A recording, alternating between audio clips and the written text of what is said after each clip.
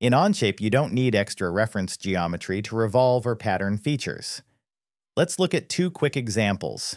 In this assembly, we'll create a revolve on the blessing block using the axis of a reference chisel.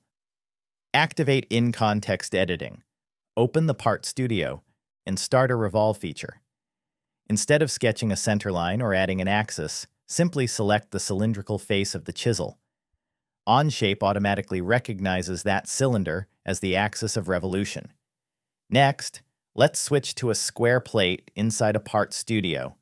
We'll create a hole slightly offset from center. When starting a circular pattern, hover over the plate face. You'll see an implicit mate connector appear. That connector defines a full coordinate system, so you can select it as the pattern axis instantly.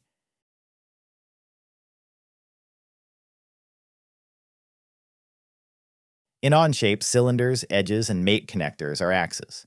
They can be selected, moved, transformed, or even patterned themselves. Less clutter, faster design. That's the power of modern parametric modeling in Onshape.